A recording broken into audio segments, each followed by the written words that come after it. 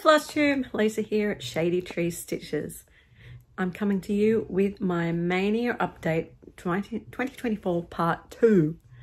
So thank you for taking the time to join me. If you're interested to see what I've been doing in my fairly traditional Maynia of working on a different WIP every day, um, then grab your coffee, grab your stitching, sit back and enjoy. And if you're not interested in cross stitch, then please scroll on by.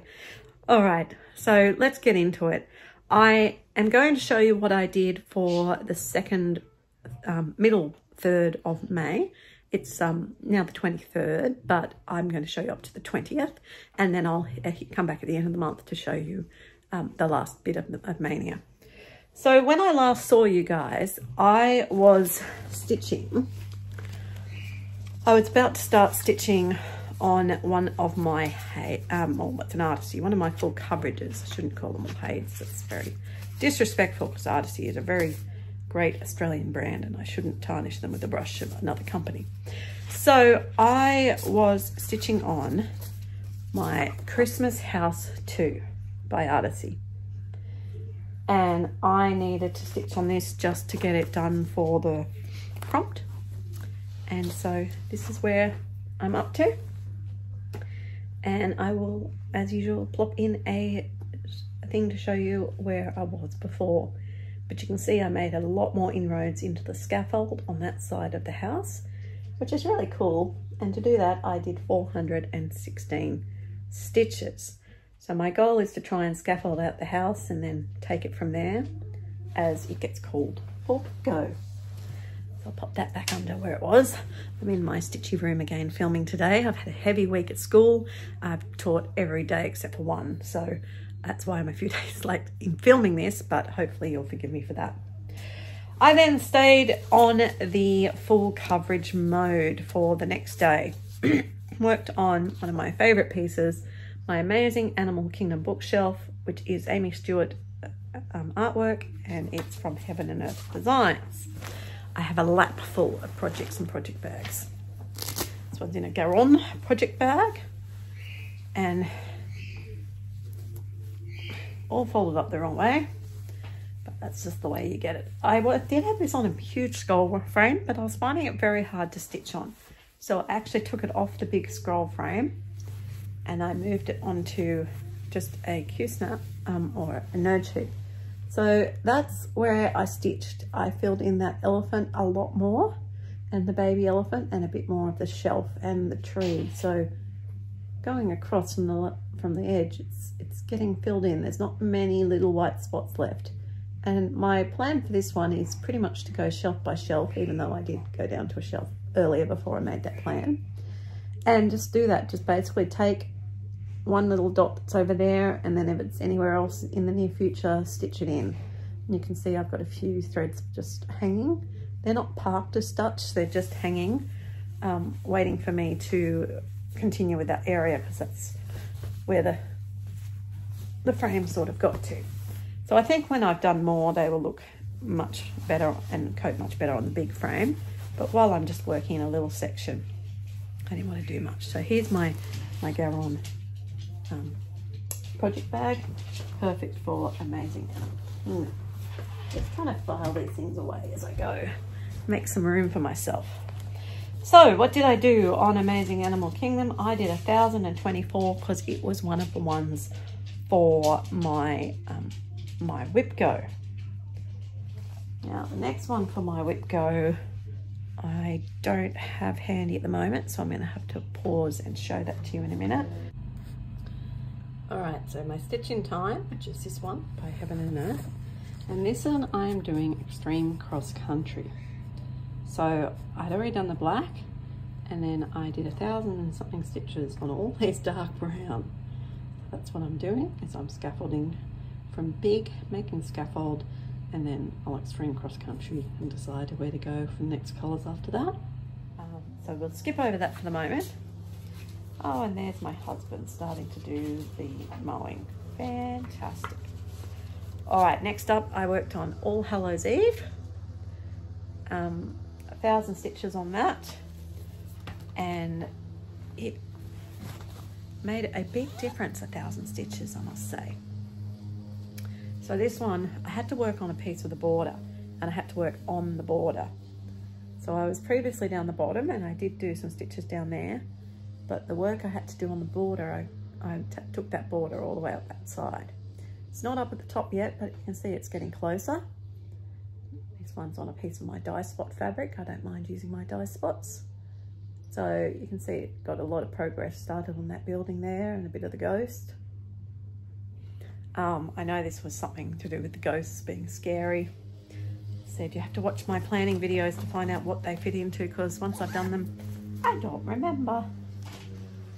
After I did a thousand stitches on that, I went to visit my Hawk Run Hollow.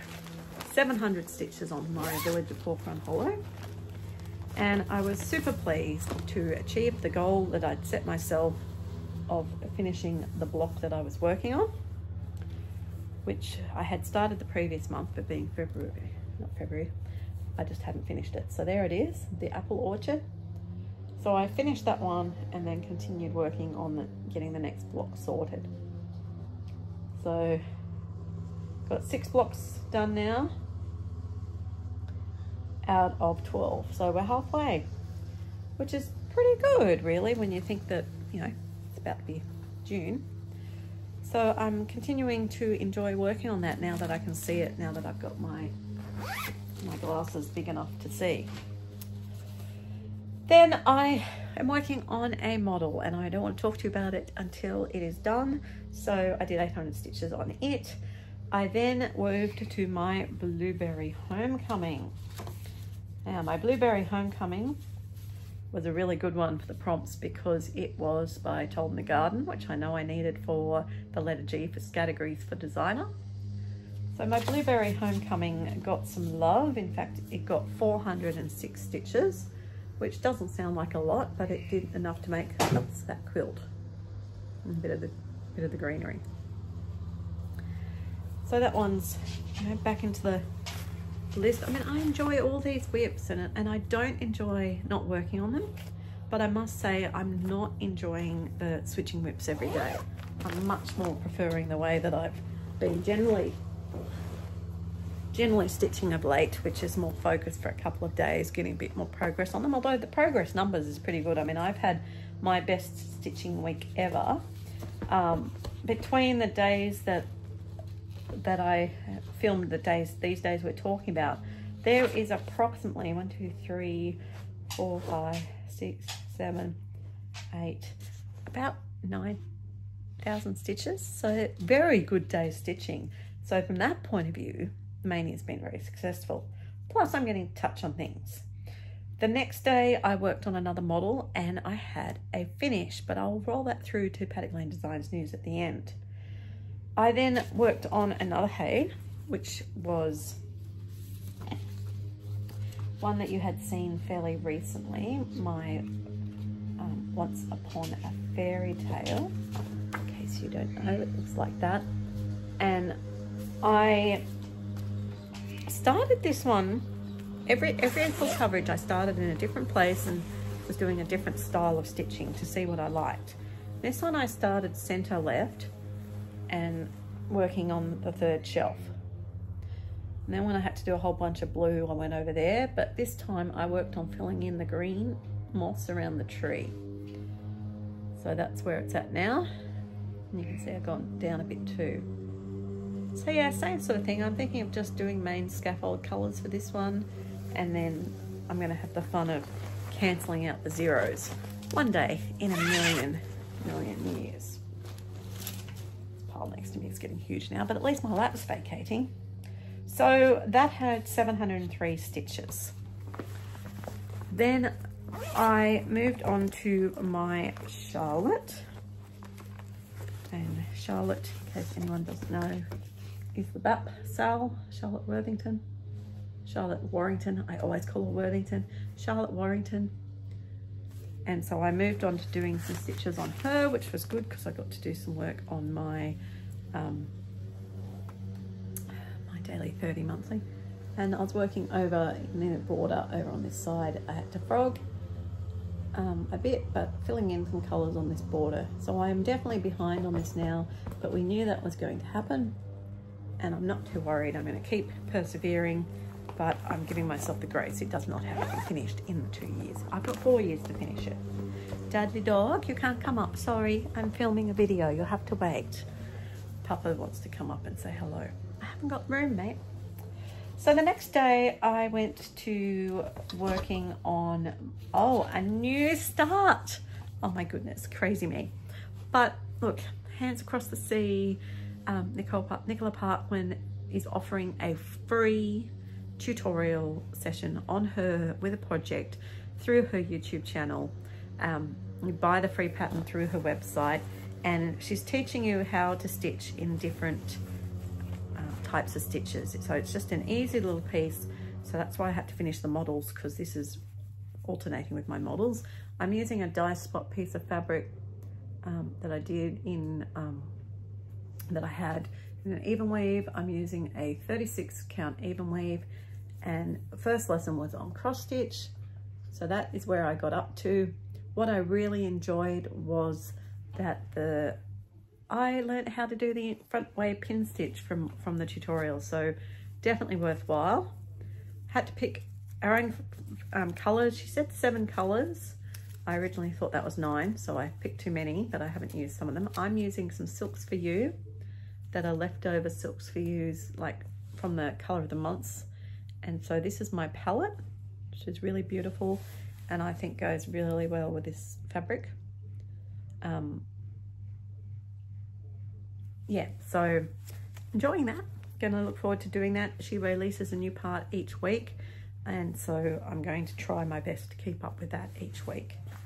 So that was a new start, which is exciting. And it's in one of my um, beautiful new project bags from Stitch by Narelle in Queensland. I'll put that down here because that's got to keep being worked on. So that one had um, only 300 stitches on it and that brought me to the end of day 20. Okay, so where to from that? Well, we've only got one, oh, I lied. All right. Yeah, no, I didn't lie. Oh, scrap that. It's all good. I've got Fairy Tale Count coming up. Once Upon a Fairy Tale is a different piece. So one, two, three, four, five, six, six more pieces to work on, seven if you include my cell, eight with, um, I was missing my long dog, but I've just found it going through to find the day. I looked in that box so many times. So I've got eight more pieces to work on this month and, and then I will have touched all my pieces, achieved my goal, including my models and everything. So that's what I'm going to do. Plus I'm going to work on, I need to do some more stitches on Catch the Wind in red to reach a goal. I need to do some more on Blueberry Homecoming and some more on Lavender Farm. So those pieces are all going to get some extra love before the end of the month and you'll be able to see where they get up to um, at the end of the month. But yeah, really, really good. Oh, yeah, two other projects there that I've done. Really good progress. Okay, my finish. Paddock Lane Designs new release that is going to get released at my um, retreat in June and at the online um, marketplace for America um, and wherever else in the world. The online needlework marketplace and it's going to get released for that in um, August. So very excited. It's two pieces. I'm not sure if I showed you the first one, but I wanted to continue working on my, my traditional sampler sort of range. And I started with the idea of doing a sampler for spring using cottage garden threads. So the lovely Michelle model stitched this for me. And then I thought it would be really, really lovely smalls, have some smalls. So I may have already shown you this one. I took out motifs from it and this is a set of three. This one I stitched on 36 count linen. So you've got the tree this is all about spring. We've got the bunnies with the flower and we've got the deer with the birds. So they're two different patterns. You can choose to buy the whole um, sampler or the set of three smalls. So that will be getting released and they will be um, exclusive to my retreat in June and then to the shops for um, that are buying from me. So if you're interested in them, please contact your LNS and when it comes out time for the previews for the Needlework Marketplace and tell them that you'd like to buy the spring sampler from Paddock Lane Designs. I would really appreciate that because it gets me known to the shops out there and I really would like my patterns to start going overseas as well as around Australia.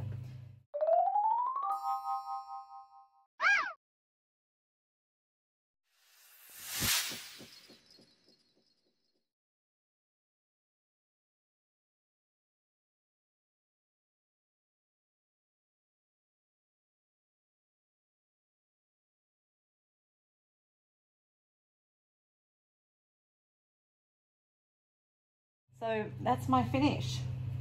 All right, another plan I have is another conversion. The um, Fabulous House series, the greenhouse. I am actually doing a color conversion of this with Cottage Garden Threads. Um, I've started the conversion, got a couple of them there to do. And I'm doing it with a piece of my Tropical Garden fabric, which is a dark navy and green. So I'm looking forward to stitching that. I have to find where I put my, my sample fabric to do that, but I will find that and get onto that. So that's another job that I have to do, but not urgently, but that's in the plans to do with the business. Now, also with the business, um, it's only a few weeks away to the Stitching in the Mountains retreat with Mojo Stitches and myself up in Blackheath. So if you're coming to that retreat, I did put a post on Facebook asking you to let me know if there's any particular colorways, counts, types, sizes of fabric you want me to bring in the shop. I'd rather have them there if you want them, then you can see them, play with them in person and buy them. That's good. I will have those that release, hopefully another new release, as well as the um, exclusive design for the retreat available. Um, then this weekend coming, I've got a busy weekend of stitching and stitching events. The Sewing Basket is having a sale um, down at Marrickville Town Hall tomorrow, so I'm taking a trip down to Sydney with the girls, and then we're going to get together and have lunch at the golf club and stitch for a few hours together. So it'll be nice to catch up with all my Zoom buddies, well not all my Zoom buddies, but the ones who live in Sydney um, in person. So I'm really looking forward to that. It's going to be a big day, but lots of fun, and I will take some footage of that, and um, I will probably put that into the next video. Um, because I think you might like to see that and it's like a, a, a goodwill for, for sewing supplies. So at the very least, I know I'll be able to walk away with some finishing fabrics. Um, hopefully some stitching stuff, but who knows, depends what they have. Okay, um, haul. I have got some haul. Some exciting haul. I have got some haul that relates to Lane Designs. Um, Ginger Stitch AU if you remember, he has a new range of acrylics and he has got these lovely um, floss um, holders. So he is doing me up some of them for me to sell through the Lane Designs website and Etsy store. Also bigger ones with 30 holes. Really great for your full coverages, people. And because they're acrylic, like they're really sturdy. So I will have them coming to the shop in the not too distant future. He's working on them right now. And the other thing I'm really excited about, again, apologies if I already showed you, is he's making my little floss drops. I've used my little floss drops and they're the ones I sell. I don't have any handy um, on card, but these are acrylic ones. They're a nice size, good size hole, um, and you can just write on them or stick a label on them. So he's making me a bunch of them too that I will have available so super excited to be expanding my range of accessories. Um, also, that came about from the Big Stitches Retreat. I forgot a few items. So Handlebar Stitches Biscornu. Biscornu based on Australian kangaroos and wattle. So I have that pattern from the Handlebar Stitcher. And I also said I got something from Taryn. This is actually going to be a prize that I'm going to have available for um, my retreat, but she's made a really cool little project pouch. So it's got room that you can slip things in there. It's got a needle minder up here, place to zip up your flosses, and then all snaps shut. So really cool. So that's gonna be available as a raffle prize at my retreat. I got my two remaining thread of the months from A Stitch in Time in Hobart. I got my Weeks Dye Works, which are all in the R's. And I got, getting right to the end, T and U for, for the um, Classic Colourworks. So I'd finished up the, the Gentle Arts. So I've only got my Weeks and Classic Colourworks. Then I will have the whole set, hopefully, and I'll be able to start using them in my designs. Now, I thought I had scissors over here, but I don't. So that's so really annoying. I really thought I had a pair of scissors. I've got my Fox and Rabbit fabric of the month. So in lieu of scissors, oh I can see them now, but I just got my fingers in. I thought I'd do a live opening of the collar. Here we go. Here's the color. Old Man Emu Bush. So it's like a um, like a dark taupe color. Very nice. So I've got that, my 36 count. I'm sure I'll be able to use that for something. Very nice. All right, so thank you so much um, for taking the time to watch me. And I hope that you've enjoyed seeing what I've been up to during the second third of Maynia. As I said, there's still 10 days to show you. So I'll be back at the end of the month um, to show you what, what I stitched on. As I said, there won't be 10 projects. I think you've got eight to go. And by then you will, it's like a mid it's like a mid-year parade in May because I've touched all my pieces. So you'll see what they all are and then we'll have to go from there. I have still been utilising the voting for pieces um, through the Maypole group. I'm still stitching in my games, my obviously my WIP Warriors games, trying to do all of them if I can. Set a good example as an admin. I mean, it's just a matter of participating. It's not hard. Um, the road trip is heading back up through New South Wales at the moment, um, and we're heading towards Dubbo. So it's nice to come from Victoria back up through the centre of New South Wales. So that's lots of fun. And I'm also still doing Utopia. We're on a ship about to start phase two. Uh, currently today there was a storm and we sailed. Thank you leaders. And we apparently now have everyone praying for us that we survive the storm. Anyway, it's quite fun getting into the, the you know, alternative worlds. Um, I am doing, I'm doing the semi-sane Maynia, but I think I'm about to die because I haven't had a big stitch week this week, working every day, unfortunately. Um, and I think that's about all I'm participating in now. So until next time, happy stitching everyone. Bye.